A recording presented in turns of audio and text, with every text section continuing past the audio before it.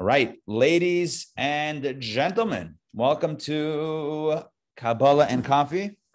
So, this is our way to get the week started with a bang, right? Way to get the week started with some intense Kabbalah, intense Kabbalistic workout for the mind and soul and spirit and heart, hopefully. So, that's the goal of these sessions. This week is a very special week in that we are getting ready for the holiday of Passover, number one. Number two, it's also the week of the Rebbe's birthday. So the Rebbe's birthday is the 11th day of the month of Nisan. For reference, today is the eighth day of Nisan, which means that in just about three days, right, 8 to 11, is going to be the Rebbe's birthday, which is certainly a very special day. Um, one of the birthday farbrengens of the Rebbe that I that always stands out in my mind when I think of the 11th day of Nisan and the Rebbe's birthday is when the Rebbe turned 70. So the Rebbe was born in 1902 and the Rebbe turned 70 in 1972. And in 1972, just making myself a tea, I hope you don't mind. 1972, um, the Rebbe mentioned that there were people, you know, well intentioned individuals that were asking him or suggesting to him that he should maybe scale back his efforts a tad because he's turning 70 and you know he has a very intense schedule. If you know anything about the Rebbe's schedule, it was incredibly intense. So there were six, he's so the Rebbe said at the Farbrengen, at his birthday Farbrengen in 1972, you know, there are people that are that are suggesting that I should scale it down and whatever. And it was in that Farbrengen that the Rebbe spoke about many incredible topics, including Judaism's um, anti-retirement stance. That's where the Rebbe spoke about Judaism's anti-retirement stance, essentially saying that the nature of a human being is, then the way God programmed us is with a need, not only a desire, a want, but a need to be productive.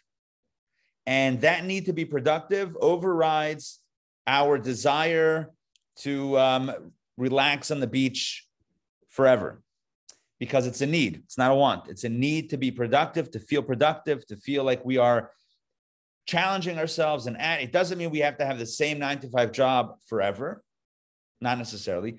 But the idea of retiring, of, you know, at some point saying, that's it, no more work, no more.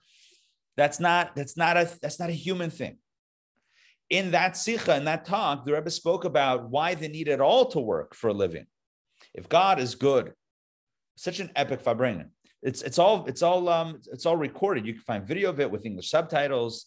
You can uh, you can watch the whole farbrengen for yourself. I'm going to give you the uh, the the um, the spoiler the the the, the clips on it. So the Rebbe asked the question: Why is it in general that we need to work?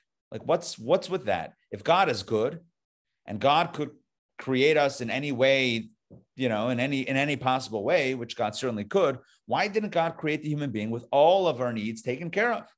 Why do we have to work for a living to make money to, to eat to whatever to get the stuff that we need? Why this whole process?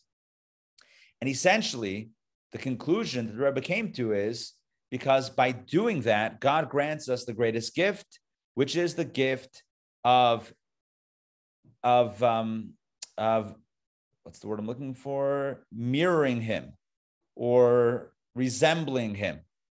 Because just as God is his own creator, so to speak, God creates, he's not the beneficiary. Let's put it in different terms. God is not the beneficiary of any other force. God gave us the gift of dignity of not needing, of not necessarily needing anyone else um, not being the beneficiary of anybody else, which means essentially the ability to create and be productive. And, you know, obviously we're not fully in control, right? God is still in control, but we do have this co creationship or co partnership with God in creating, in, in, in creating our own way, so to speak. This is why God created us with the need to work. Certainly, God could have given us everything, but then there would have been an inherent imbalance in the nature of existence where God is the sole provider and we, God is entirely providing and we are entirely taking. And that is something that would rob us of dignity, of meaning, of purpose, of utility, etc. So God gave us the gift of being creators and producers, which is why we work. So at that Farbrengen, again in 1972, the Rebbe said, not only, you ready for the punchline? Not only am I not retiring, but this year I'm going to step up my efforts and I want to launch. It doesn't sound that bold today, but in 1972 it was majorly bold. In in honor of my 70th birthday, the Rebbe said, which means that I when it, now that I'm turning 70, that means I'm in my 71st year, right? Uh, once you turn 70, that means you lived 70 years, but now you're, you're starting your 71st year. So I call upon Chabad worldwide to create 70 new institutions, seven, sorry, 71 new institutions in honor of my birthday. And uh, and indeed, so it was. In fact, it was done in pretty much short order. Today, like I said, today Chabad is so, you know, thank God Chabad is so large and whatever. Chabad is like literally worldwide. Um, even when they they sent a rover to Mars, I may have said this a few weeks ago. I don't remember. Right? They they found two things on Mars. They found a, a can of Coca Cola, and they found um, a Chabad house. Now that's a joke, but I mean that's kind of not a joke, right? Wherever there's Coke, there's Chabad, and wherever there's Chabad, there's Coke. And sometimes Coke looks at Chabad and figures out where it needs to open up another uh, distribution center. But here's the point, and that is that today 70 centers can be done in uh, I don't know a month or whatever. But then it was it was an ambitious goal.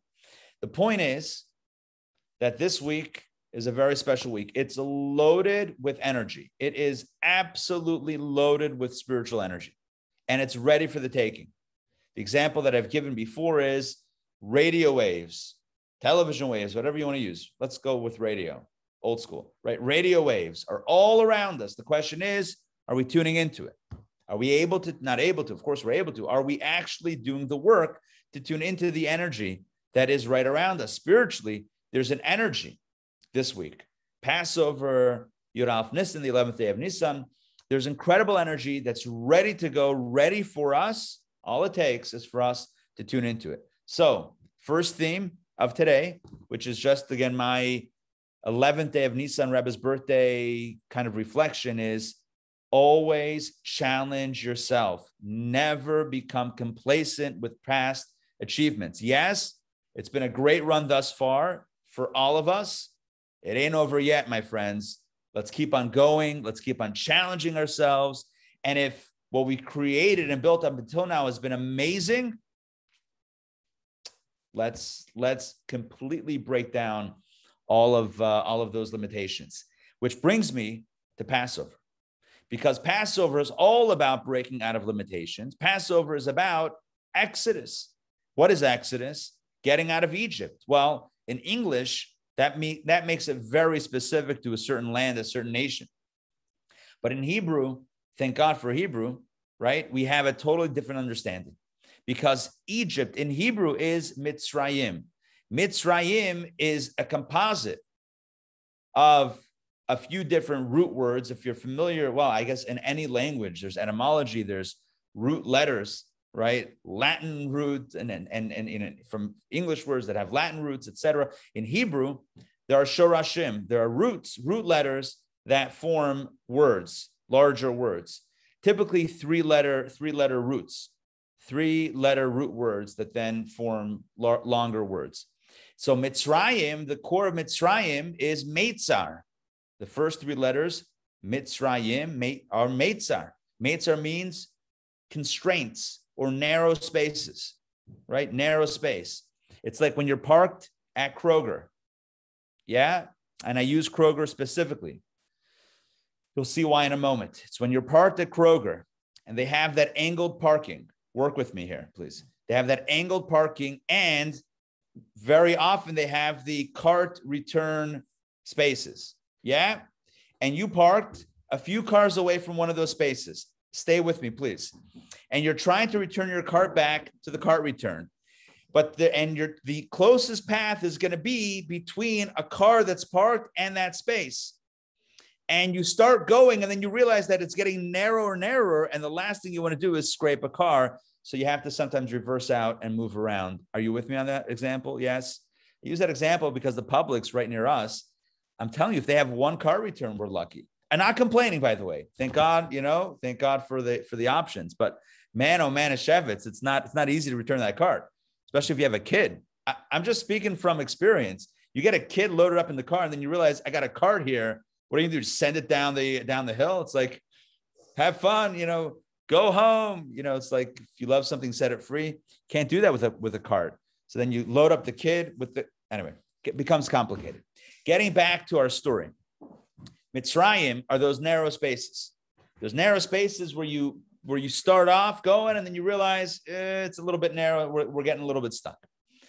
The whole point of, of, of Passover on an annual, perennial basis is all about reminding ourselves and giving ourselves the energy to truly break out of our limitations with the understanding that the exodus that happened 3300 and 33 yeah this year's 3333 look at that. Feels like we're in vegas.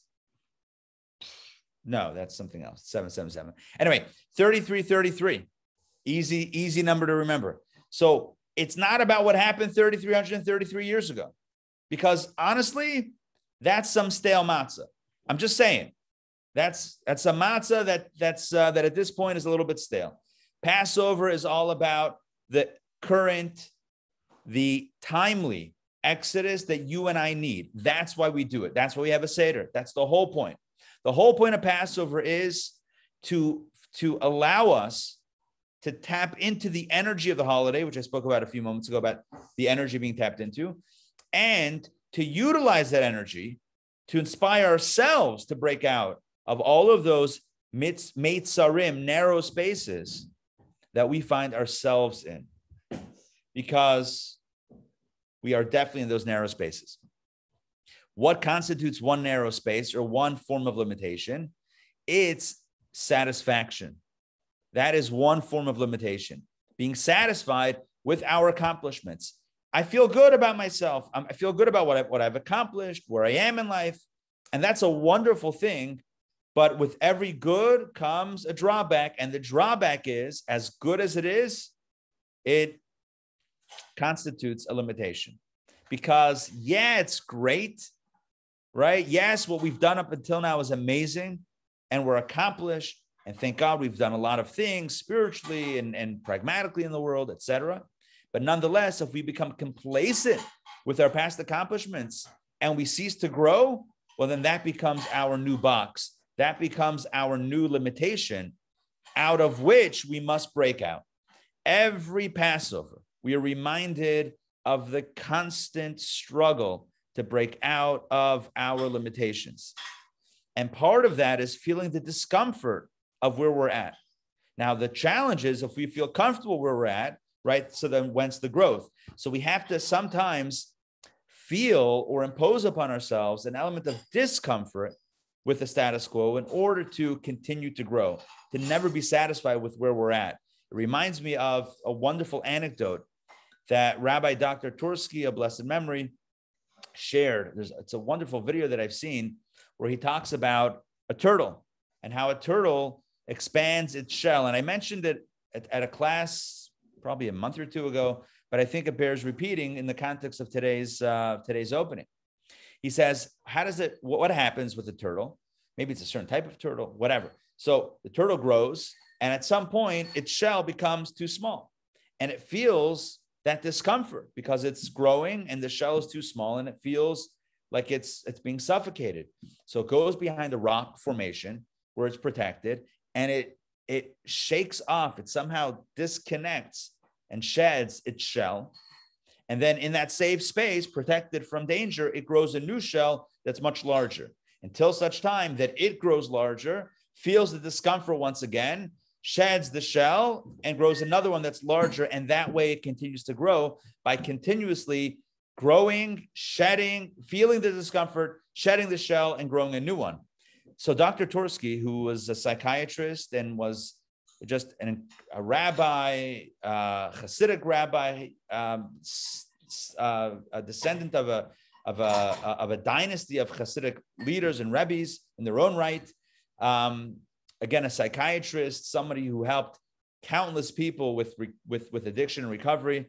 So he said, imagine if the turtle went to a psychiatrist or psychologist.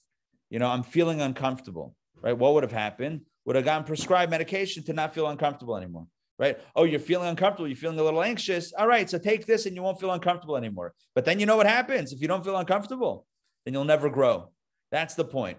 It's when you feel the discomfort that you can then push against the limitations, shake them off, and grow bigger and better than before.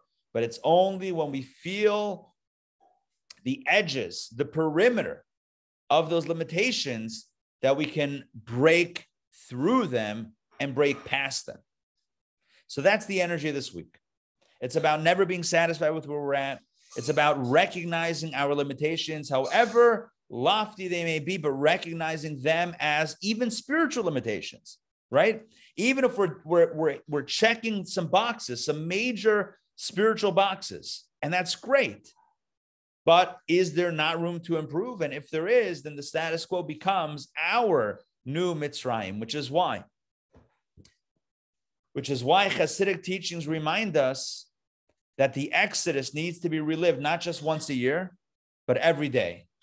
B'chal dar vadar, our sages say, in every generation. And the Alter Rebbe and Tanya adds, B'chal yom v'yom, and every single day. A person must undergo the Exodus for themselves, personally. So that means that Passover is not just once upon a time.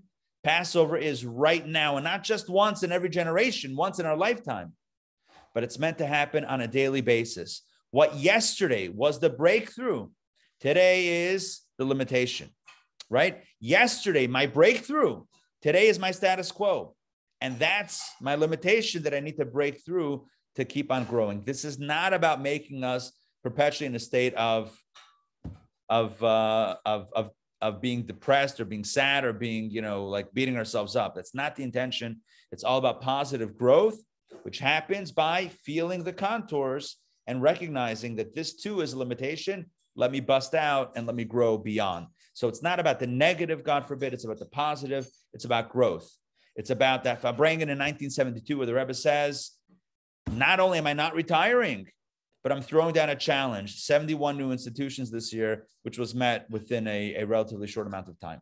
So that's the energy of the week. And by the way, if you want to know more about Passover and get prepped spiritually and pragmatically for Passover, we have a session coming up tonight called Prepping for Passover everything you know, everything you need to know to master the Seder. But it's not just about mastering the Seder, it's really about getting ready for the holiday. I'm going to give you practical tips. Tips. Um, I'm going to give you um, so practical tips, spiritual tips, and we're going to go through the Seder and the essential essential items there if you're doing it at home or doing it with others. But this way you'll get ready. And by the way, even if you're very familiar with it, it's been a year right? No matter how familiar you you are with it, it was literally a year ago, and without studying it again, there is no way. I'm telling you from from personal experience, right? There is no matter how many times you've done it, and even led it for others, which I've done leading community seders, etc., or leading my own family seders. You literally need to go through everything again before the holiday to, to remind yourself of all the details because there are details and especially we're going to go through spiritual stuff. This is happening tonight, by the way, at 7:30. Um, free open to everybody. Share the information. Uh, it's on our website, intownjewishacademy.org slash Passover. You can get the link there. Well, you can register for it. It's free RSVP, just RSVP for it, and I'll send you the link. Um, I'll also be posting it on social media, the direct link to uh, to Zoom. So join us tonight and spread the word as well. 7:30 p.m. Eastern Standard Time. All right, back to our story. Rabbi, excuse me. Yes. Rabbi, so you mentioned that we need to renew this these personal challenges every day. Is there a particular prayer that's part of the daily ritual or one that we can add into it?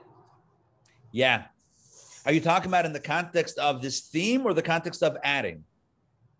I'm saying you you said we need to every not just on Passover but daily. Yes, the theme of you know personal Yes. So right. every single day, excellent question. So Donna's question is, where do we see this reflected in our daily liturgy? So the answer is every single day we say the Shema. and including including the Shema and the prayers preceding and following the Shema is a recollection of the Exodus. Literally in our prayers every single day, we talk about the Exodus, and it's a it's a misconception to think that while Jews are stuck on the Exodus, right? Like, oh, get over it. It's 3,333 years ago. All right, you're free. The Egyptians are no longer enslaving you. Get over it. It's never been about that. It's never been about that. It's never been about a slave mentality or victim mentality. On the contrary, the Torah says in Deuteronomy to break th- to break free out of that psychology of, of victimhood. I mean, the whole Torah is about breaking free, free of that psychology of victimhood. It's never been about that. It's always been about a reminder that just as there was a Pharaoh who lived 3,330, whatever, 3,300 years ago, right, who did enslave you physically, there are pharaohs today, whether external or internal, that are likewise enslaving you and I. And it could be our own spiritual satisfaction. Like, oh, look, thank God I'm in such a good place. That's a Pharaoh. Again, I don't want to be, it's, it's not about negative, but that today could be a Pharaoh, right? What yesterday was was Moses and freedom is today Pharaoh. So that's why in our prayers we recite the story. We tell the story of the Exodus every single day. And you might be thinking, well, if you do it every day, then what's Passover about? Okay, so once a year, we have like the deluxe version, right? So every day we have the mini reminder, but on Passover, we do the real experiential situation. We eat the matzah, we taste the bitter herbs. I'll be speaking about that tonight, a little bit about the experiential learning in uh, in uh, in this session prepping for Passover. But yeah, that's where we do it every day. And in the context of what I thought you might have been asking, which I think you weren't asking, but I think that's also a good question if you were also thinking that. And that is, right? If so, for example, one area of growth could be in prayer. So if if every day we pray for let's say five minutes, okay, great. Five minutes is is is a great is a great segment of prayers, but that's now my that's now my box. So today I'm going to go six minutes. All right, and I'm, okay, after 365 days, you're going to say, well, that's like how many hours? That's many hours. So I'm not suggesting every day is necessarily adding one minute, but again, conceptually, we can add more time or add more depth to what we're doing, praying, you know, the mitzvahs that we're doing, the, the tefillot, the prayers that we're praying, the Torah that we're studying, etc. Always room for growth, and that's really the theme of this week. So it's really important, I think, to tap into the energy that's available and accessible. It's also a theme that we'll be speaking about tonight. There's an energy in the air. It's literally in the air. It's it's ready for the taking, and the theme is breaking out of constraints, which is ironic on some level because right now I want to pivot and talking about applying constraints. All right. So there's a way to get free by obliterating constraints, and there's a way to get free by applying constraints. Let me explain the flip side. It's not a contradiction, don't worry, but let me explain the pivot, the other way of looking at things. It's a folly, I guess to quote our book, Overcoming Folly. It is a folly to believe that freedom consists, human freedom consists of shirking off all forms of limitation, all forms of boundaries. I don't mean the spiritual ones, I mean the, the pragmatic ones. I'll give you an example. Imagine you tell a child, a young child, no rules anymore. No rules. No rules for bedtime. No rules for what you can eat or what you can't eat no rules for if you go to school, when you go to school, how you go to school. You have zero rules, zero structure, zero. Um, so what I'm looking for zero um, expectations. Just you are free to live as you wish. I'm going to ask you a simple question. Do you believe that that is that that will be healthy for the child? all rules, all expectations, all regulations, all sorts of framework being lifted from a child. Do you think that would be healthy for the child or unhealthy for the child? What would that look like in most cases? Okay, David's thumbs downing. Yeah, would we agree with that? Yes, I, I think so. I have a. Can I say something about that? Sorry. Can I say something about that? Yeah, for sure. The um, it kind of reminds me of the stiff-necked um, uh, Jews that I guess they didn't have chiropractors, or um, and then it, it kind of reminds me of um, you know, we kind of we have a, a view of um, people in this country that say you can't tell me what to do, and generally they're the less educated members of our society. Uh, and I'm thinking, you know, maybe this uh, the slave mentality where where we had, uh, you know, we, we we felt like we couldn't have rules because uh, the rules we had were abusive. Um, it seems like the flip side of um, being having having too much because I'm thinking if kids have too much, first of all, you guys are going to have to leave the house and find your, or live in your car because it'll be a little crazy. Um, but I'm thinking at some point those those kids are going to want rules. You know, right. they're going to be crying out for rules like, please put us in jail or we'll keep committing these crimes, you know, domestic crimes while you guys are out of the house. So, so I think, so I, I think what you're saying is the notion of going from yeah human beings are extreme are we're, we are by nature sometimes extremists so when we see something wrong with one paradigm we typically want to go the other way completely and that could be the same mistake as the first mistake in other words if one extreme was was was mistaken then the opposite extreme is likewise mistaken and i think you and i are aligned in this notion of radical freedom being likewise radically confining. In other words, we think that well, if if rules or if um, if if these types of limitations are bad, then letting go of all limitations would be good. But again, using the example that I gave of a child, you tell a child you could eat what you want, go to sleep when you want, etc. It's prob most likely there will very soon develop unhealthy habits within the child. Now, who am I to say unhealthy and who decides what is unhealthy? I'm just talking about from how much sleep is needed to a healthy diet, right? Most likely, without the rules and without the structure, the child will devolve into unhealthy patterns of behavior. And the truth is, it's easier to speak of children.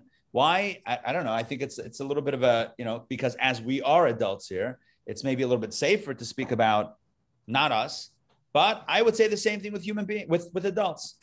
Adults shirking off all sorts of any type of limitation or societal expectation or um, or, or constriction, I think could end up in a very negative place. And oftentimes we've seen that happen, and uh, and and we've seen what that what that what, what type of anarchy that can cause. Here's the point. Here's the point. A healthy human being needs a healthy structure. And I know that I spent the first part of this class talking about how to break free from our limitations, but those were the spiritual limitations. What I'm talking about here is another concept, which is a framework with, within which to operate. It's an overriding framework, a type of structure within which to experience freedom, which reminds me of a story that I think hopefully will clarify. There was once a publisher in the United Kingdom who was a publisher of a uh, satirical paper. And I'm forgetting the name of the publication, and I'm also forgetting the name of the publisher. So there you go. So much for details in a story. Nonetheless, late, he was very irreverent, completely like, you know, nothing was sacred, you know, not religious at all. Later on in his life, he, he became more religious, not Jewish, but he became more religious. So he was once asked in an interview, "What happened that you changed your life around and became this, uh, you know, this more religious type of individual?" And he said, "I'll tell you a story. I have a yacht, and one day I was, I decided that, you know, instead of being only a passenger on my own yacht that I own with a captain, why don't I find out how to captain my own yacht? Right? I have the money for the yacht. I might as well uh, learn how to how to captain the ship myself." The yacht myself. So he goes over to the captain and he says, Can you tell me, can you give me a crash course? No, well, sorry, wrong term. Can you give me a, uh, a, um, a, a quick um, primer in how to captain a yacht.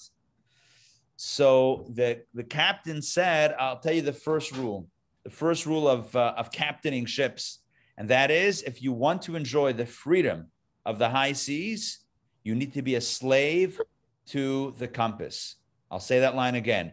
If you want to master, sorry, if you want to enjoy the freedom of the high seas, you have to be a slave to the compass. Imagine if somebody says, I'm going out in a yacht.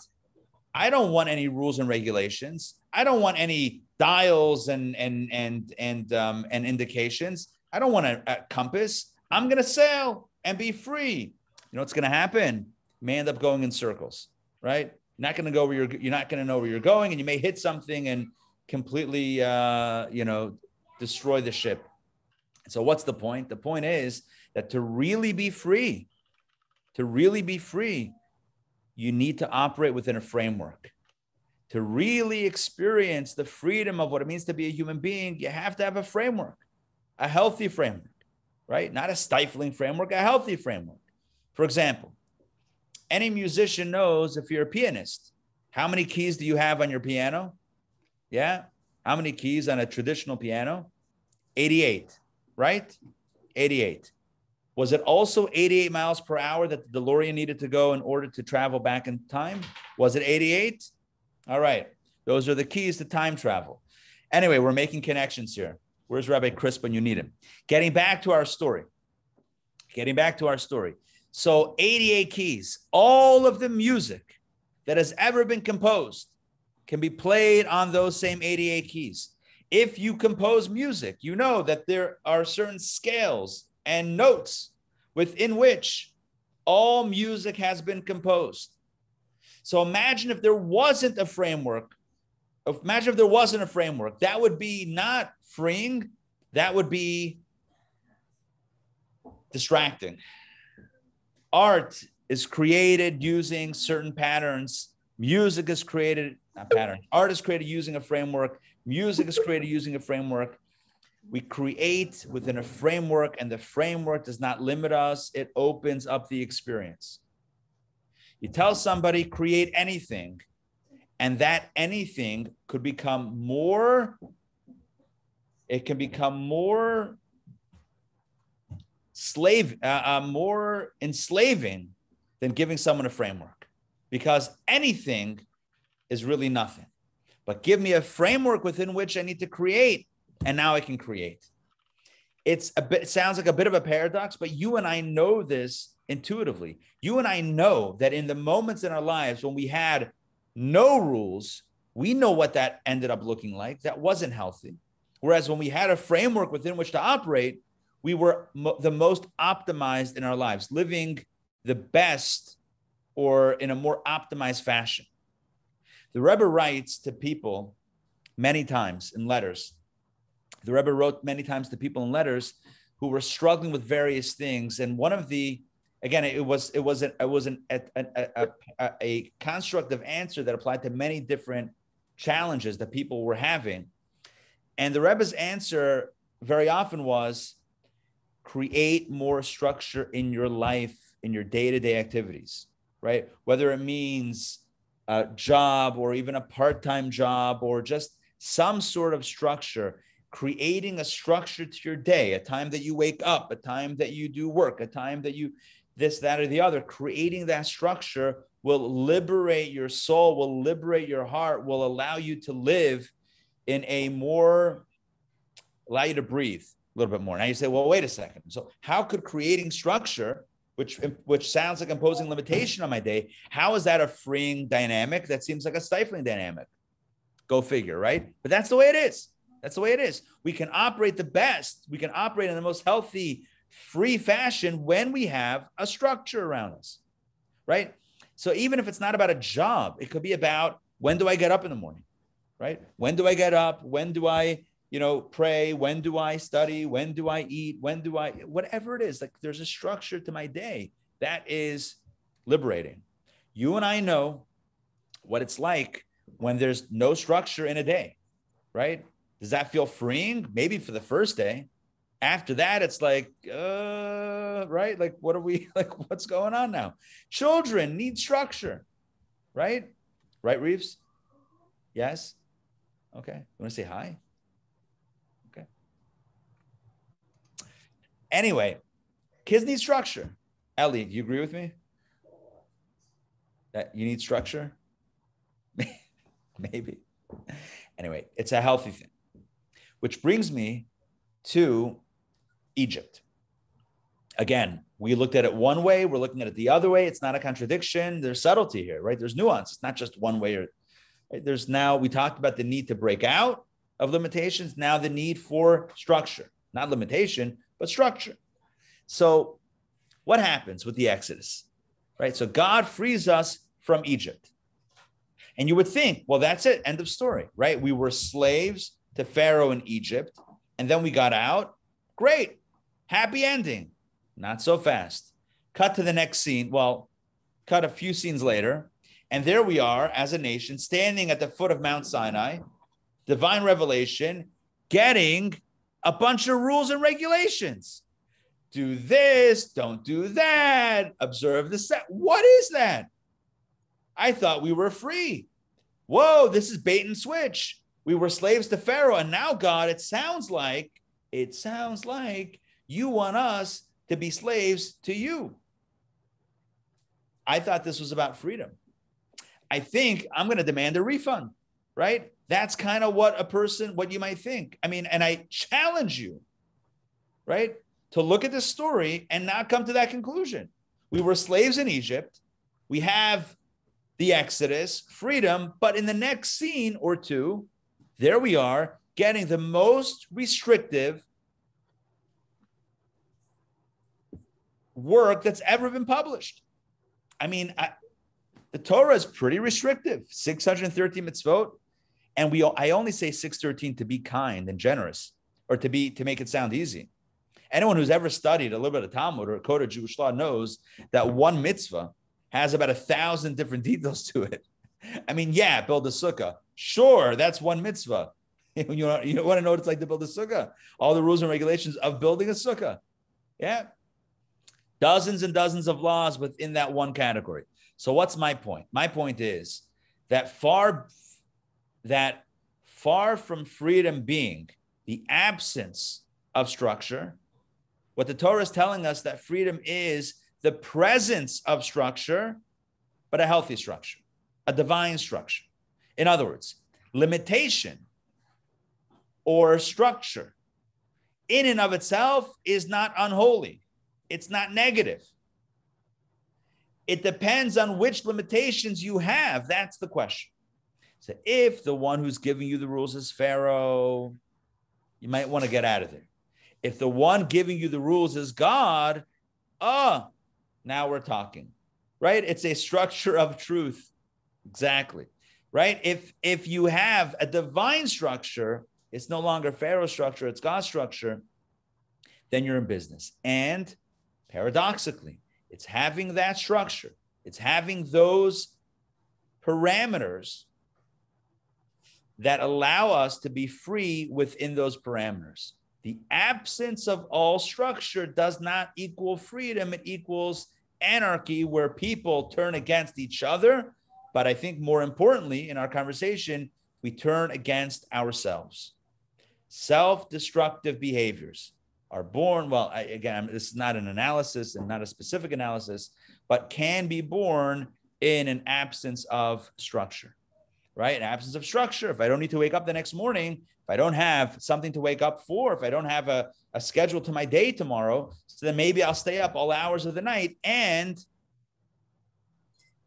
right and and harm myself by not having the sleep that I need, etc.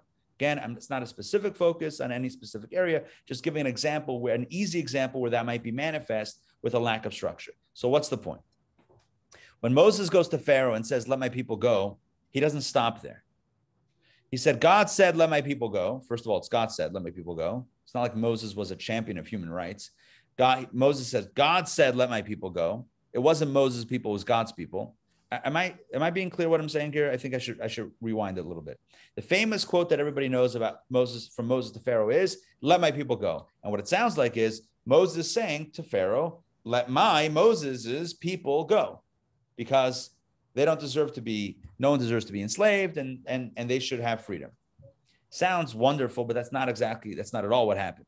God said to Moses to tell Pharaoh, "So said God." let my people go with a capital M, God's people go, so that they may serve me, not Moses, me, God, on the mountain.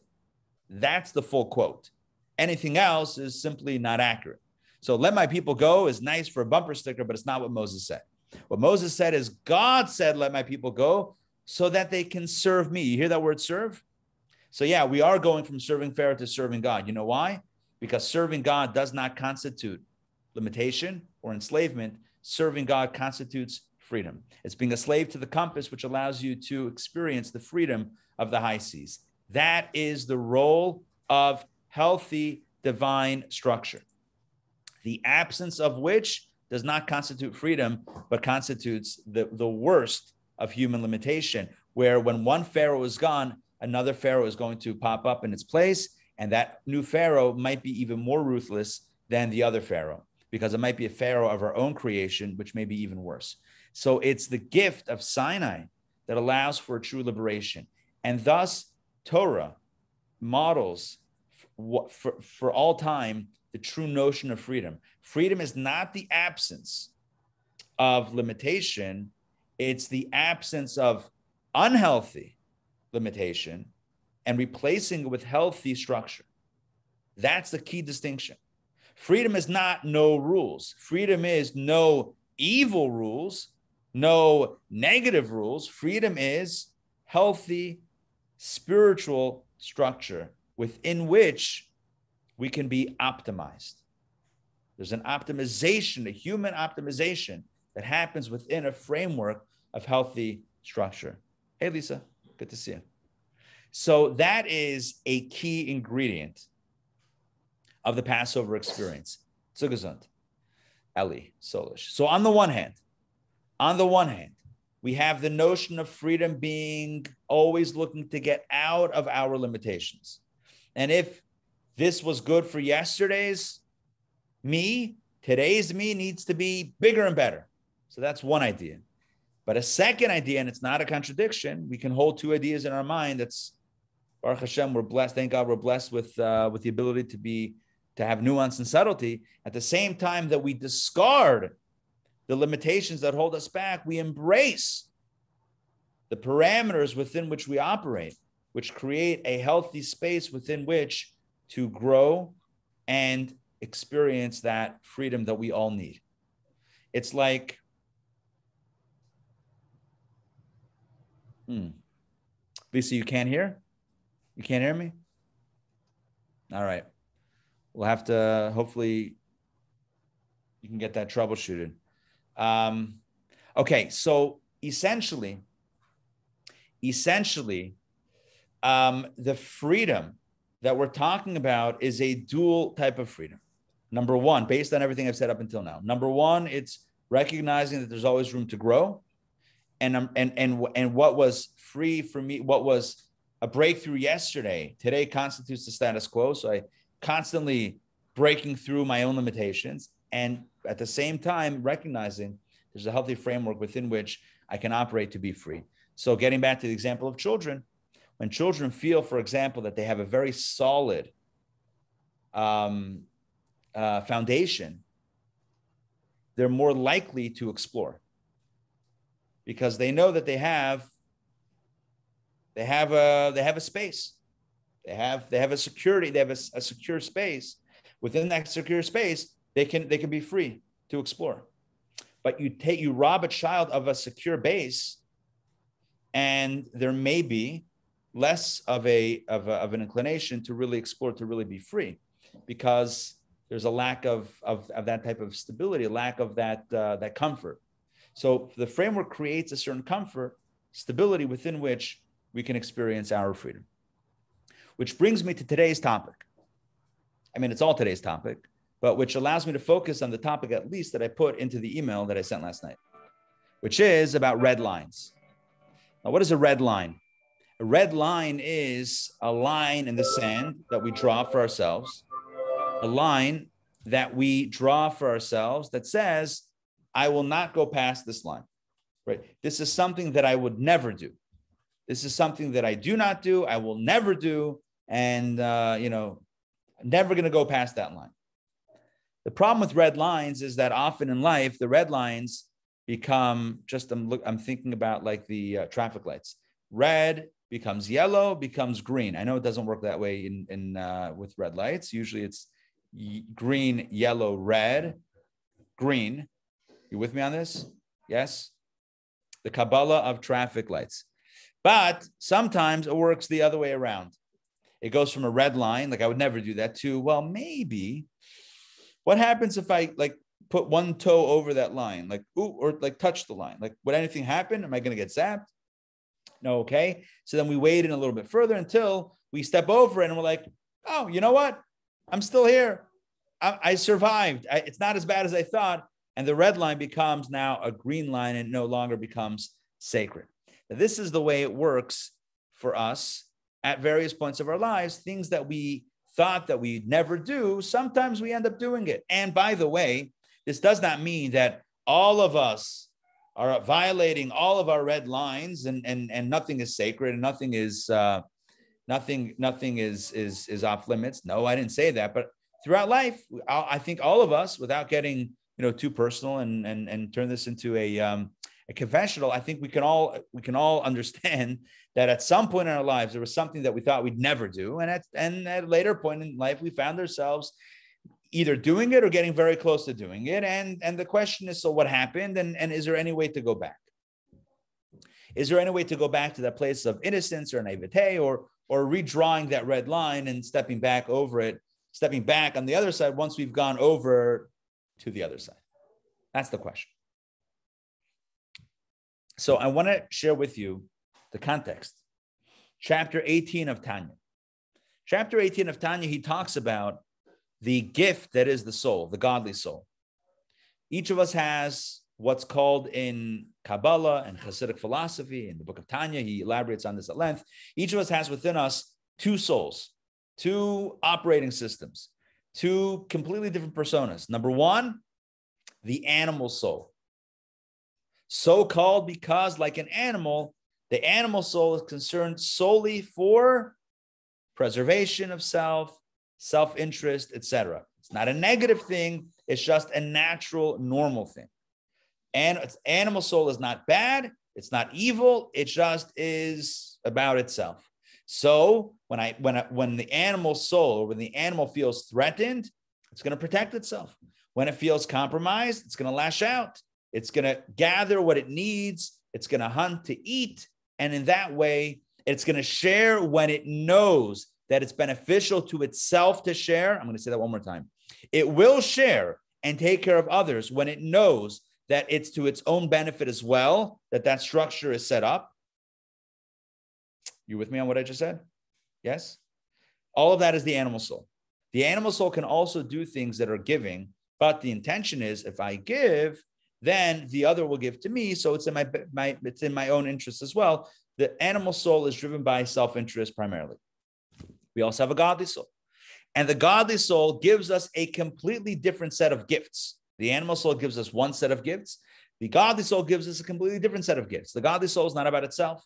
It's about God, it's about purpose, it's about truth, it's about the other, unconditionally about the other. It's not about doing a mitzvah, doing a favor for someone else, giving tzedakah because then they're going to owe me a favor. No, it's about a mitzvah for the sake of the mitzvah. It's about a relationship with God for the sake of the relationship, not for the sake of self. It's altruistic. It's not self serving, it's other serving. It's God serving, it's divine serving, it's purpose driven. That's the godly soul. So one of the gifts of the godly soul that the Alter Rebbe um, uh, expands expounds upon in Tanya chapter 18 is the gift of the red line. What red line? Where because we have a godly soul, says the Alter Rebbe, when push comes to shove, in most cases, he's talking about historically amongst Jews, Jews historically have not traded in their Jew card even when it was very difficult, even when faced with death for being a Jew. So historically, right, many peoples in many different countries, many different eras, have sought for one reason or another, or maybe the same reason, I don't know, have sought to get rid of the Jew. And whether that's physically killing Jews or trying to spiritually take the Jew out of them while keeping their bodies around, essentially it's the same thing, right? It was about getting rid of the Jew. And by and large, throughout the 33, depending on when you count from Abraham, 3,700 years, whatever, the last 3,000 plus years of Judaism and Jewish people, by and large, the vast majority of cases, like vast, vast majority of cases, Jews have not turned in their Jew card, even when faced with pressure and threats and even certain death. And the question is why? And in chapter 18 of the book of Tanya, the Alter Rebbe, the founder of Chabad, writes that this is another symptom, if you will, this is another outcome of the godly soul.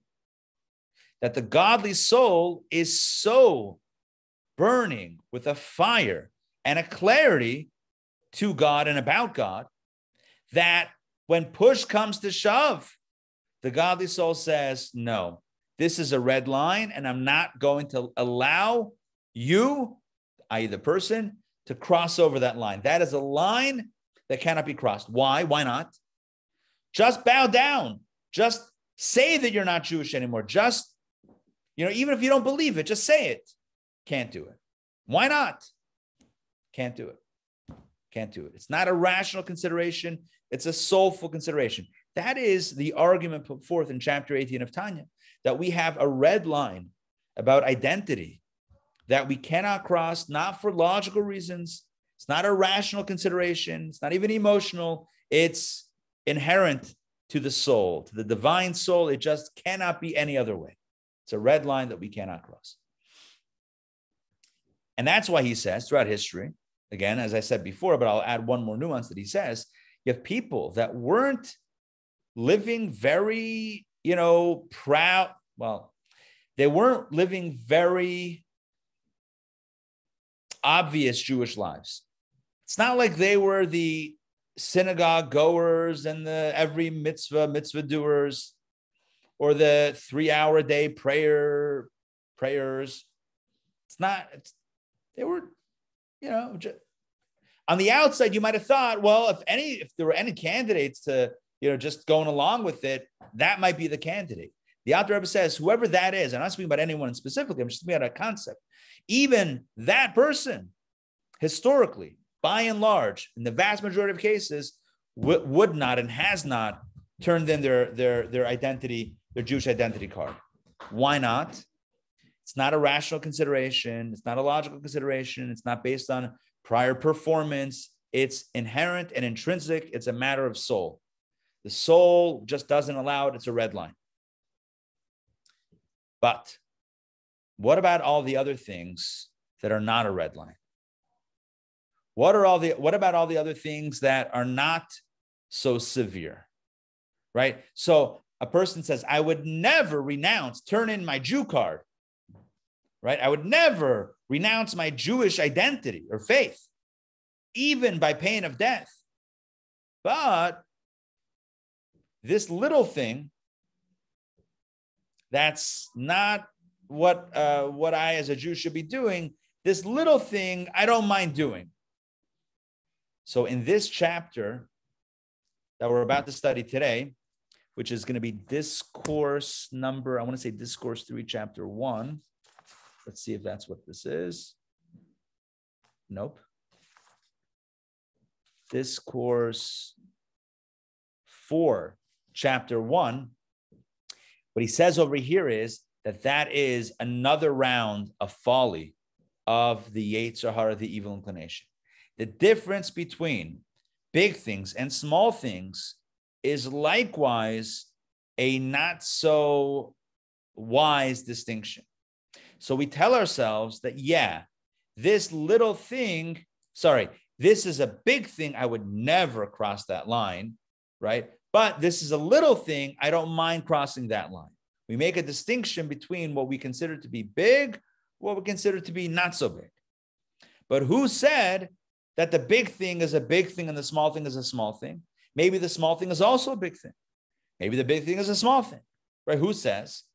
It's a it's a matter of perception, which means that as our perception is telling us that this is big and this is small, our perception could also tell us that the small thing is also a big thing, that it's a big deal. That is a way to get ourselves into a space of feeling that intensity, that passion about the little things, knowing that the little things are not so little, or believing that the little things are not so little. So, to summarize this, this um, what I believe is a very important point. It's believing that something is little and insignificant that can get us into trouble, right? Because we tell ourselves, "Oh, it's no big deal if." It's no big deal, right? It's it's only a small thing. And that way, we get ourselves into trouble with the, with that thing that's supposedly small. But repeated enough, a small thing becomes a big thing. And again, who says the small thing is only a small thing? Maybe it is also a big thing. And so therefore, therefore, it becomes a dangerous space to be in. A more healthy space is to recognize that the small thing is a big thing. So, for example, in a relationship, let's say in a relationship, a person would say, Well, there's a line that I would never cross about being faithful, right? So there's a line that I would never cross to be unfaithful. That's a line that just is impossible to cross. But there's other behaviors or other activities that I that I will do because well, it's not crossing that red line, right? These are little things. These are little things. But repeated little things could also affect the totality of the relationship. Does that make sense what I'm saying? Yes. So it's it's this notion that well, the big thing is a big thing, and the little thing is only a little thing, so it doesn't matter. But if you think about it, and it's it's something born of experience, the little thing is not always so little. It's not always so little. Who says that it's a little thing, right? Who defined it as little? I know who did. We ourselves defined it as little. You know why? It's a strategy, right? To make ourselves comfortable with doing it, we told ourselves, well, it's not a big deal. It's only a little thing. But that little thing is not so little. You and I know that it's not so little. It compromises, and the example of the human relationship, it compromises the relationship. And it's the little stuff that leads, whether whether or not it leads to a bigger thing, that in and of itself is compromising the relationship. In the example that we're going to have in this chapter, in, in a moment, we're going to read this inside. He says, Imagine you have a rope that's comprised of many strands.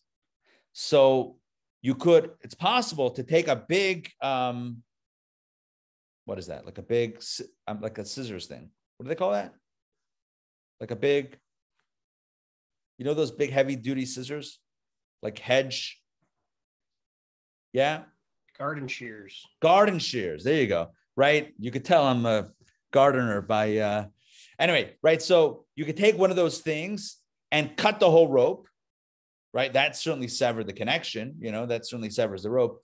Or you can cut one strand at a time. But it's only one strand. Yeah, it's one strand. But is the rope not compromised? Is it not weakened? It's weakened. It's weakened. So yes, there we could say that there's a distinction between cutting the whole thing or cutting one strand.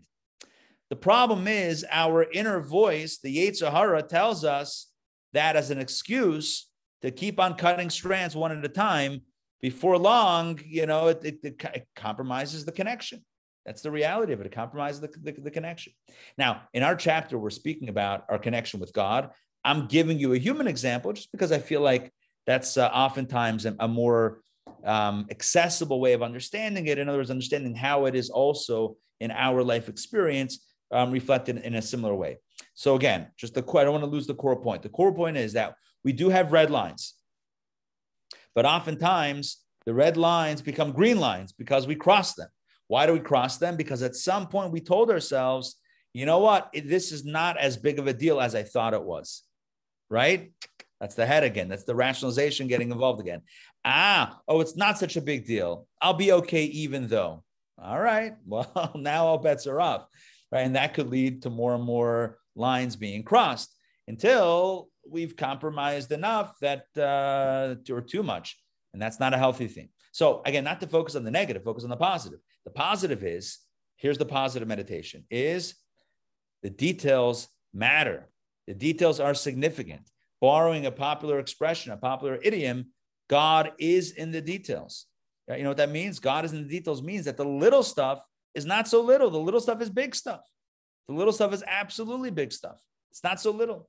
And it's only the Yetzer Hara, the evil inclination, that tries to spin it as something little and no big deal because it's only something little. Oh, I would never tell you to do the big thing, says the evil inclination. Only the little thing, which is not so important. Hook, line, and sinker, baby. That's the way the Yetzer Hara works right? In other words, it's not just that go ahead and try it, it's not a big deal, but the very notion that there are some things that are a big deal and some things that aren't a big deal, that's also part of the strategy of the Yetzer Hara. Are you with me? If you and I were, were, were a, an employed Yetzer Hara by God, we would totally be doing this, right? If you if this was our job, right, to get someone to right, you and I would be pulling out this card all day. It's like, oh, oh yeah, I totally respect your your your values to not do that big thing. I totally get that. Thank God this is not one of those big things. Thank God this is only a little thing. So you're totally safe here. This is a totally safe space, right? Wouldn't that work? Yeah. Doesn't that work on us? That's all part of the mental gymnastics that we do to alleviate ourselves of that well, to let ourselves off the hook, really. And the point here is that the more we appreciate the value of the detail, the more we will be right where we need to be, which means value the details. I want to talk about art for a second because the other night, Thursday night, I painted something and I haven't painted in a long time and I'm going to show you what I painted. Some of you saw this already. So I painted this Western wall uh, painting. We had paint night with Tanya Thursday night, and I painted this. Now, if you'd have asked me, you know, do I think I could paint this? I would probably say no, not no, not not precisely. But I did have confidence because I did speak with the paint instructor, and she's like, she's like, I guarantee you, everyone's gonna be able to do it, even it's you. I'm like, thank you, thank you. Yeah, um, even my kid, not even, but my kids also did. You see, there's a bunch of them. You have a bunch of Western walls over here because um, the kids did it as well. So this was literally. You so all wall now. Yeah, we have literally, yeah, we have four of them. So we can actually ex- make a full wall wall. Nice. The whole Western wall in your dining room. Literally. Yeah. And one of my kids was davening over Shabbos Friday night facing one of those pictures and they're like, I'm praying by the wall. I'm like, yes, you are. And you sound like one of my kids because that's exactly what, what, I would have said. Um, Beautiful. I'm sorry about about I'm late. I, I you changed the, the time, yeah? The, the Yes. Ah. Oh, yes, yes, yes, yes, yes. We did change the time. Yeah. You guys don't change the time in Chile? No. Oh, yeah, that's us Americans. Yeah, pulling it fast. Yes. Yeah. Sorry. Yes. We're yeah, we we change the time. Yeah. Yeah, it's one of those things. I don't know why we're doing that, but that's what we're doing. Yeah. Um, so so now, yeah, now for you, Kabbalah coffee is 8:30. So no, it's it's uh, late. Uh, no, it's 10:30 because we are we are um, oh one hour more. Yeah, oh. but it's it's yeah, yeah no, it's too complicated. Sorry, yeah, so, but it's beautiful. The painting, I thank love. You. So here's but here's what I wanted to point out from this. So look, the way she did this, the way she taught this was one step at a time, one detail at a time. So it's you first apply white paint. And she's like, don't worry, don't don't ask too many questions while you're putting just put the white paint. And it's like, You put the white paint because at some point you're going to learn what it means to blend colors and and you create a fade and you need to blend.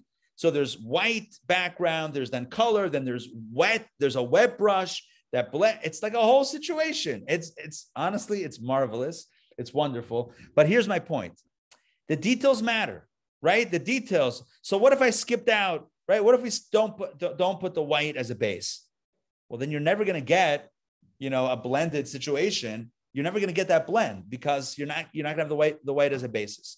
So you could say no, I'm going to come in when it's really important when I need the blue, right? Give me the blue and then I'm going to get going with the blue. Doesn't work like that, right? The details are important. In life, it's the Yetzer Hara. It's that evil inclination. It's the negative voice inside that says, "Oh, don't worry about that. That's a small thing." That's the negative voice inside that says it's only a detail. Anyone who's accomplished anything, and we all have, you and I know this from experience that any great accomplishment that you've that you've done was a product of attention to detail. It took it was step by step. There, there were different things that you needed to learn, needed to do. It was a de- detail by detail, step by step to accomplish what needed to be done. That's the way it works. That's absolutely the way the way that it works. It's the details that matter. God is in the details. The details are holy. It's the Yetzer Hara that says, "Oh, those are only details. That's not really important. Don't worry about them." And that's where we might get we might trip ourselves up. This book, as I say every week, is called Overcoming Folly, and the concept is meditations to challenge the negative voices inside that try to derail us from where we need to be. So where we where we want to be, where we need to be, no worries. Where we need to be, by Sandra, and have a good one. But where we need to be is in a space of connection. That's where we want to be. That's where we need to be. And it's that inner voice that says, "Oh, don't worry about the connection. You'll be fine." Or, or um, don't worry about this detail. You're you're not crossing over any big red lines. It's you're you're fine where you are. And that's again that's all the Yetzer.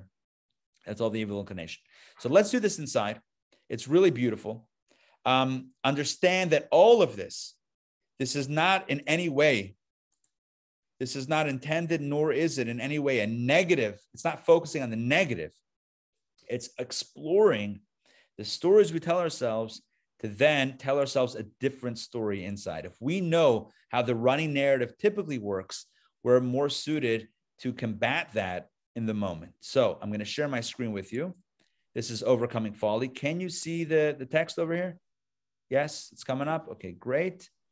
Um, Rabbi, can I share one uh, sim- uh, sure situation? Um, so regarding the um, the small little uh, things that that we say are okay to cross, um, a good analogy, because you talked about the broken uh, single strand, is in rock climbing. they say there's a lot of extra slack of the rope uh, laying on the ground while you're pulling someone up, and their lives are depending on this particular rope. And we actually, um, you know, you trust the equipment, otherwise, you'd never be able to do something like that.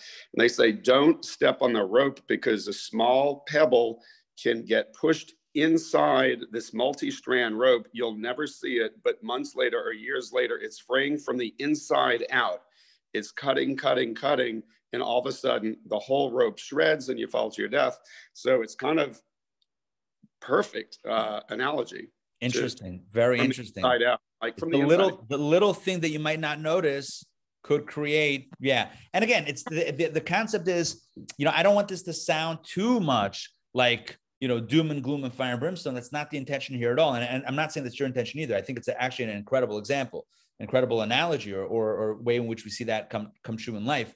Um, but again, I just, just for the sake of the conversation, I want to, I want to emphasize this is not about negative, the negative focus, about the positive focus, the power of the attentiveness to the detail. When we are attentive to details, right? How life affirming and life saving that is, right? How beneficial it is when we do pay attention to the details. So let me share my screen. We're going to jump into chapter four. Sorry, discourse four. Look at that. I can highlight it now. I'm using a different PDF program, right? You see what I just did there? Now that I highlight. All right, discourse four, chapter one, but everything's going to be yellow soon, so I have to stop doing that. Okay, so here we go. Discourse four, chapter one, adultery and idolatry. We're going to have a, you know, I used the example before about a human relationship and and a divine relationship. Indeed, this is the parallel is, is here as well from the the Rebbe, the, the fifth Rebbe, Rebbe, the Rebbe Rashab who authored this text. Let's let's jump in. It is obvious now, he says, that the fact that the Yetzer Hara, the evil inclination, one second, let me make this a little bit bigger. Why not, right? Oop, that's a little bit too big, I think. One second.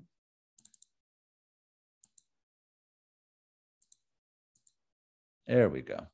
Okay, it is obvious now that the fact that the Yetzer Hara persuades him that despite any evil deed, he is not separated from God's oneness. Right. The Hara says, no, no, no, no, don't worry. You're still fine. That's not a big deal. So that voice, it should be clear by now, is simply the spirit of folly that camouflages the truth. Right. That's not true. That's just the tactic of the Yetzer Hara that says it's no big deal.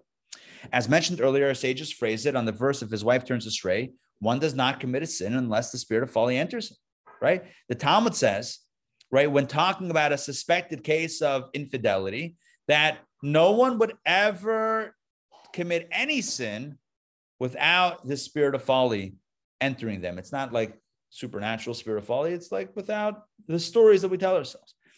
He says, he gives an example of the um, the unfaithful spouse, even an adulterous woman with a frivolous nature. In other words, even the one who is not so faithful could control her passions were it not could control her passions were it not for the spirit of folly that covers obscures and conceals the hidden love with her, within her godly soul that would impel her to cleave to faith in god and his unity and oneness and not be separated from god even at the cost of her life enduring martyrdom instead rather than submitting to apostasy. In other words what he's saying is even someone who crosses one line wouldn't cross a very big line, the ultimate line, right? Because to them, to that person, well, this is a small line and that's a big line. But as we'll say here, that's all perception, not necessarily reality. We have noted in Discourse 2, Chapter 1, and this comes from Tanya, that it is in the nature of the souls of Israel that they are incapable of being separated from God because of the innate love within them. For this reason, even the most, I don't like this translation, worthless, it just means even the one who doesn't demonstrate always a fiery commitment to God will readily sacrifice his or her life for the sanctification of his name. In other words, even someone who's not, you know, always externally, even for themselves, living a super on fire spiritual life, when push comes to shove, will by and large not renounce their Judaism and again it's not and it, this is not like theory. This is not a philosophy or a theory. This is born of experience. I can't tell you how many stories came out of the holocaust the same thing where you have people who were i'm sure i've told these stories before people that were not so you know outwardly at least you know discernibly committed to their judaism. But when push came to shove they were like, yeah, this is who I am, and, and no one's going to rip it away from me, even if even if it means taking my life. I'm not giving it up. I'm not I'm not renouncing who I am. So the point is that that's a big red line that that he's saying most or everyone has, and therefore they won't cross it.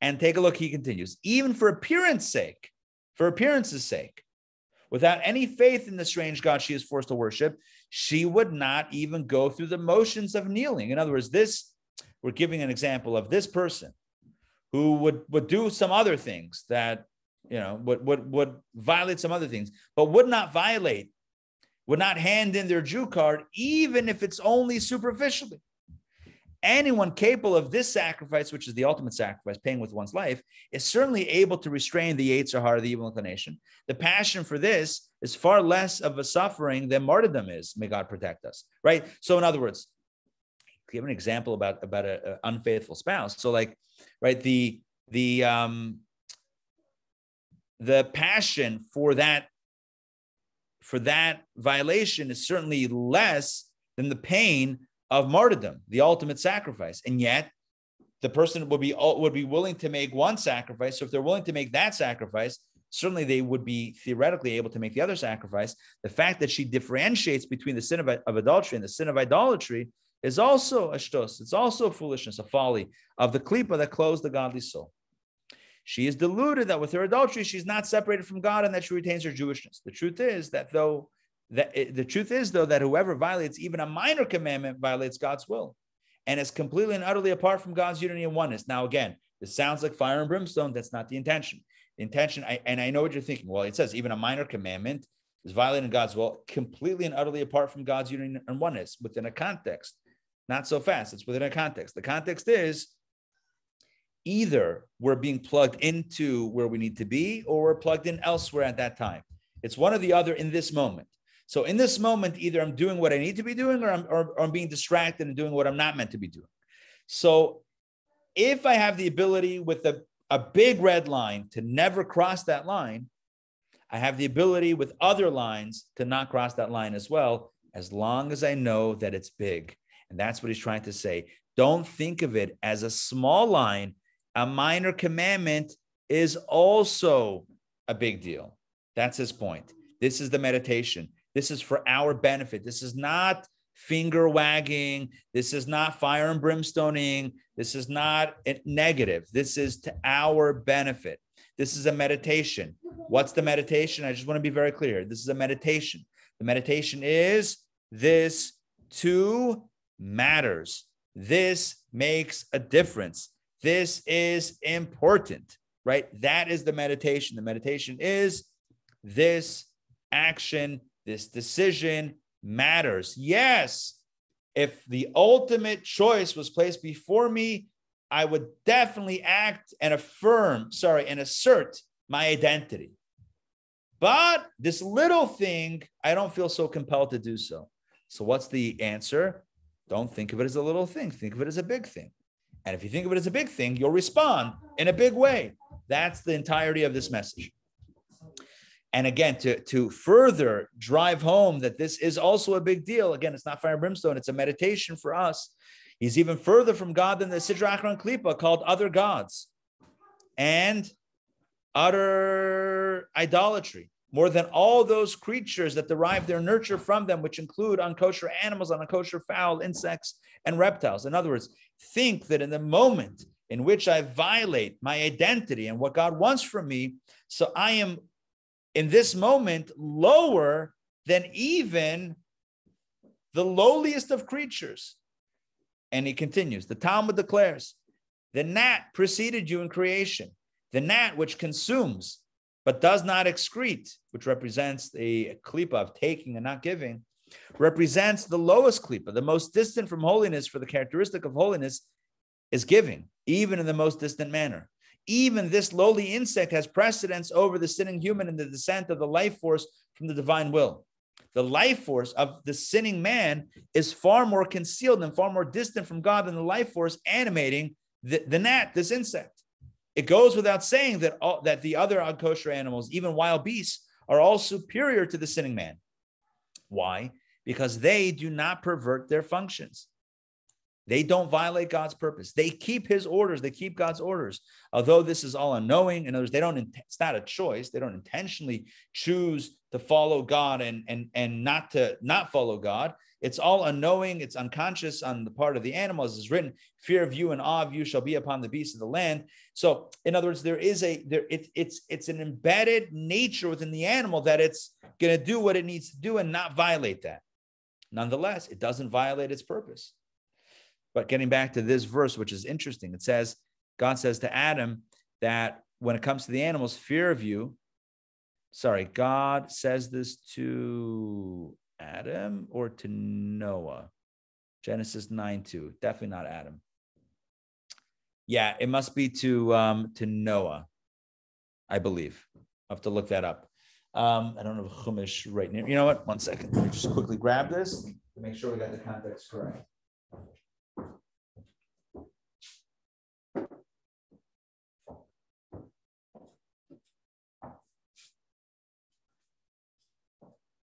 Yeah. Yes, indeed. It's God telling this to Noah once Noah gets off the ark. So he gets off the ark, and God says, "All right, don't worry about the animals. The animals will uh, will respect you.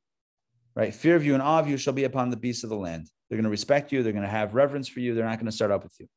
The Talmud comments on this tractate Shabbat. Take a look. That a wild beast cannot affect the man unless he seems to be an animal. Right? Animals will never attack a human being unless the human being looks like another, like looks like an animal to the animal. See that? To the beast. Tzaddikim, righteous, whose countenances always testify to the image of God, find all wild beasts humble before them. This is how the Zohar, Kabbalah, interprets the account of Daniel in the lion's den. So if Daniel, he was thrown into the lion's den and survived. How is it? Because he had the image of God upon him. Basically, God promises in the Torah that if you look like a mensch, then the animal cannot harm you. Now, am I listen, disclaimer, you try this at your own at your own risk, and I'm not taking any responsibility. Do not jump into a lion's den and start davening and studying Torah and and and whatever. Don't don't be reckless. But the point is that when a human looks like a human, when a person is reflecting the divine image that ideally they're meant to be reflecting, then an animal won't start up with the human being. It's only when the when the human looks like another fellow animal that the animal will will attack. And that's the point that he's that is, and that, that's the point that he's saying here. That when when a human being turns away from purpose and descends into negative behaviors, the human being is like an animal, but even worse, because the animal never violates its purpose. But a human, in violating their purpose, is violating their purpose. So here's the conclusion. I mean, not the conclusion, but here's the the therefore. So whoever transgresses God's will, even in a lesser commandment, is at that moment utterly estranged from the supreme holiness, his unity and oneness. His state is far inferior to the unkosher animals and insects and reptiles which derive their nurture from the sitra achra and the klipa of idolatry. So the point is, the point is that again, it's a meditation for us. There's no such thing as a small thing. There's no such thing as a little thing. Oh, it's only this small thing. It's not a big deal. It's not like a big red line that I'm crossing. So it doesn't matter that I do this or don't do this. It's only small. His point is this is a meditation for us.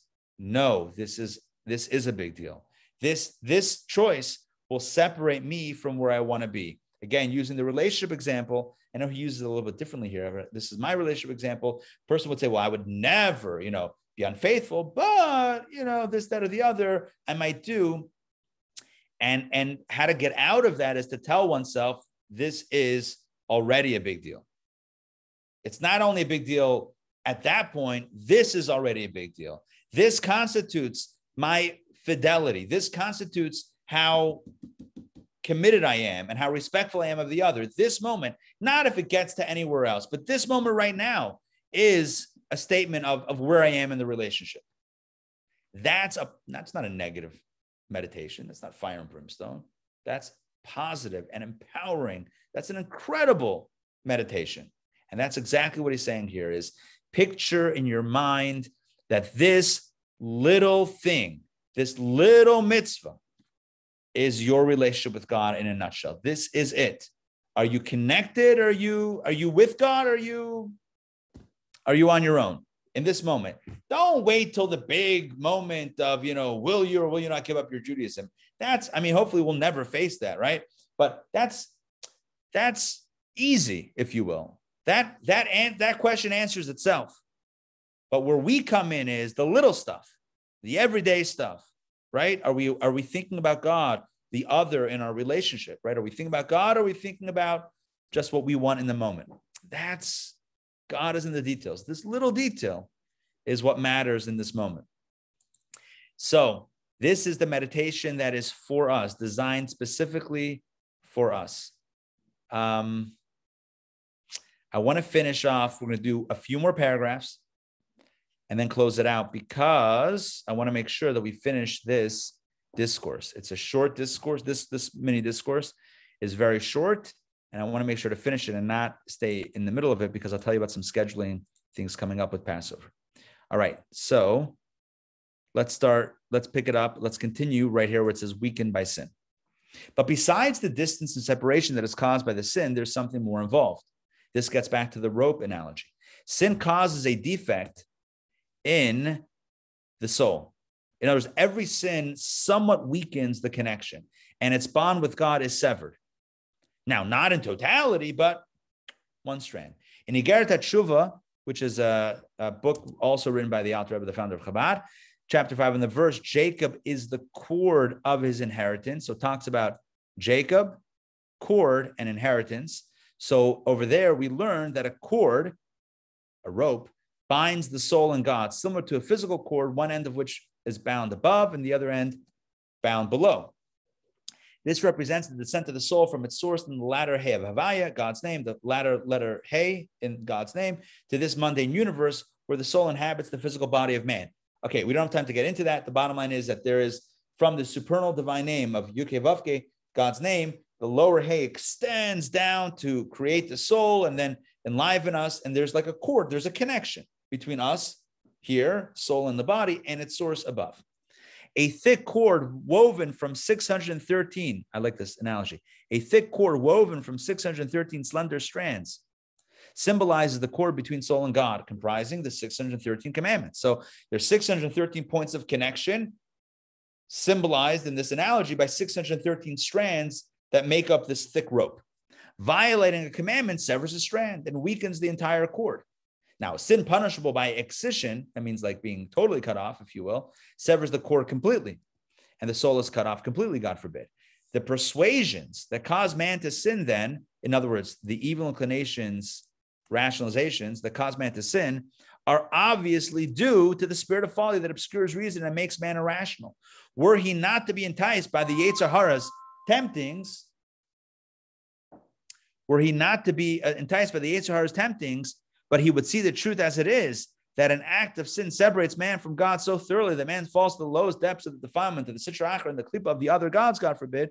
Besides defecting the soul, which we just said, it, it cuts a strand. It could always be re- retied, but it's still in the moment, it's compromised. If a person realized that, the concealed love within him, which makes it impossible for him to be apart from God, would inspire him, keeping him from the stumbling block of sin, regardless of the circumstances. So if we were only a little bit more meditative, realizing that this is not a small thing, this is a big thing. And if I do this, then it puts me at the bottom of the totem pole of existence because everything else is doing what it needs to do. And I'm the one that's not doing what I'm supposed to be doing.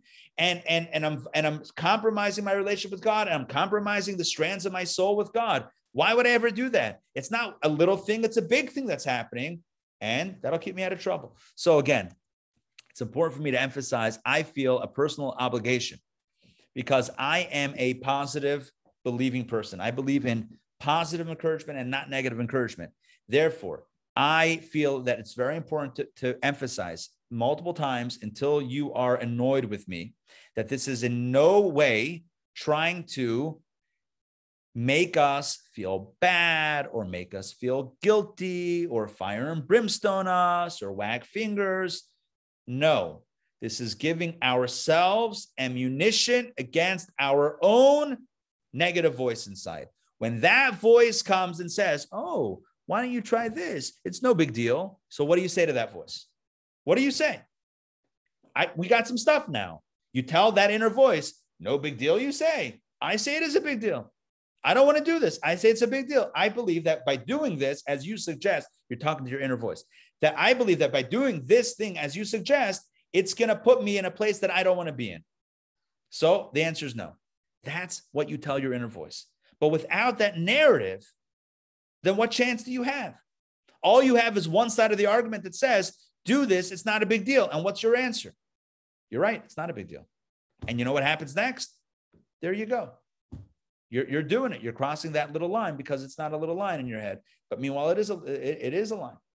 So this is what we're, this is a, a meditation that's an incredible tool and a gift for us to have for ourselves. Do not use this toward anyone else. This is not meant to be like, oh, I cannot believe you did that. Do you know what that means about you? Do you know that you are now lower than an animal? Do you know that you're now, you know, cutting off strands of your or severing or compromising strands of your soul? God forbid to look at someone else that way or to talk to anyone else that way. God forbid, or to think about anyone else that way, right? We have to judge others favorably. For ourselves, we have to be honest and real and unflinching. We have to tell the inner voice that's whose job it is to get us to fall. I will not do that because it goes against my best interests. And even if you tell me it's not a big deal, I believe it is a big deal. So the answer is no. That's my meditation. Does that make sense? Yes? That's it. So hopefully today we are inspired with more brain ammunition to challenge the challenges that come our way. When the inner voices of folly say, try me, right? This is not so bad. The response is, I beg to differ. I beg to differ. I don't want to go down that path. That path is not where I want to go. But it's not a big deal. I'm not telling you to do that, just this. I feel that this is a big deal. So I don't want to do it. I feel this is a big I feel already this is a big deal. So I don't want to do it. And you know what happens then in that moment? The Yetzer Hara smiles and says, Good job. Good job. Because my job was only to offer it and convince and, and, and sell it. Your job was to reject it. I did my job. You did your job. Excellent. I'll be back tomorrow. Don't worry. The Hara, or five minutes.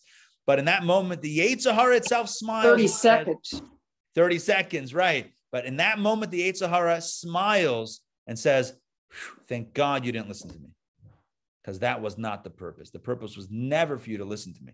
Purpose was for you to reject me utilizing whatever strategies you can. This is literally mind strategy to keep ourselves in a healthy place. All right, I'm sure this could be adapted to business strategy and to other things and to you know just human um, optimization strategies, which it kind of is. But certainly the context is spiritual, you know, mitzvot, connection with God. But it could be applied every you know in, in any different place. The point is, the one who's the most prepared is typically going to be going to be the one that's that's the victor. So if you don't have a response to that voice that says, it's not a big deal. This is not, I'm telling you to do a big thing. It's a little thing. You, you'll like it. You'll enjoy it. No harm, no foul. If you don't have a response to that, then that's what's going to happen. The response is, if it, assuming that it's not so, not so holy, not so kosher, then the response is, with all due respect, I, to me, this is a big deal. I don't want to be disconnected, even in this little moment, even in this moment even if you're telling me it's not a big deal, I choose not to be disconnected. I choose connection. So, my friends, here's the deal. Here's the deal. It's those limitations. It's the subservience. Nassim, you want to say hi? No. All right. It's the subservience.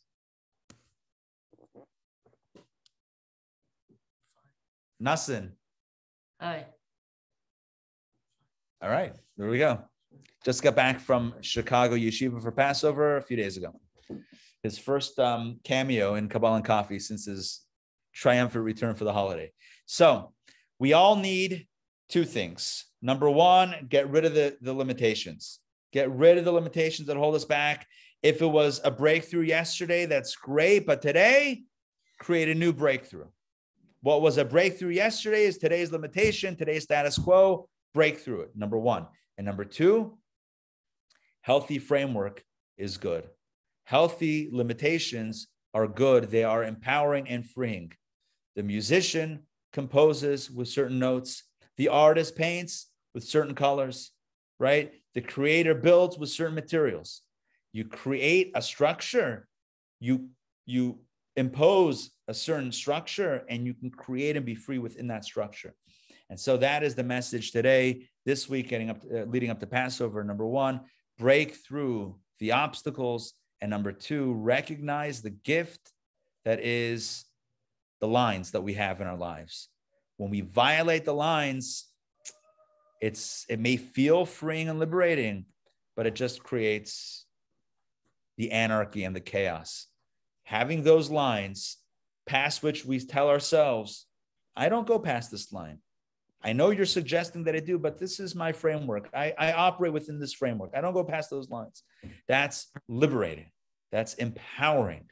on every level spiritually, psychologically, and emotionally. My friends, there's a lot more to talk about, but I have to run, unfortunately.